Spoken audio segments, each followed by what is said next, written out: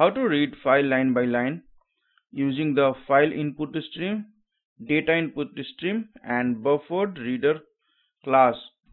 So finally we are constructing the object of buffer reader class and calling the buffer reader dot read line to read a file line by line in Java.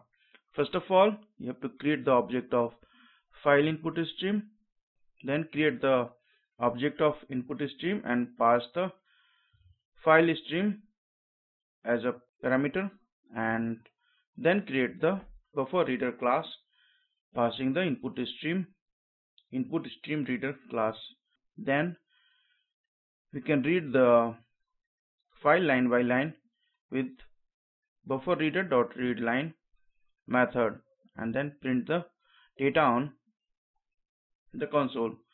Finally close the input stream. So in this way you can use the file input stream data input stream and buffer reader class to read a file line by line.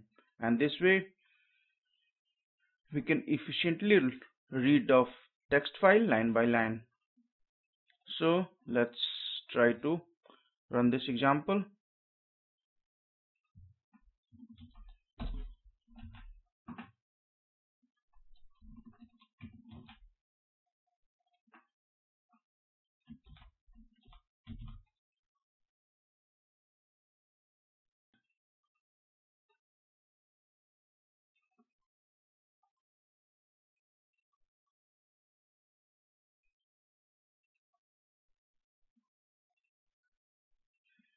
So we already have a dev file or text which we are reading here.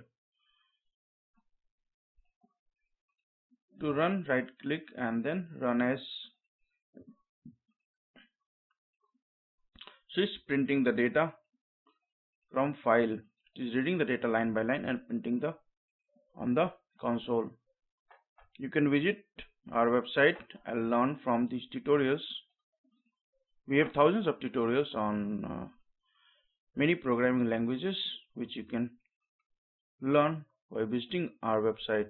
We have many tutorials on Java IO package. You can visit here and see all those tutorials. Thanks for watching the video and subscribe our channel.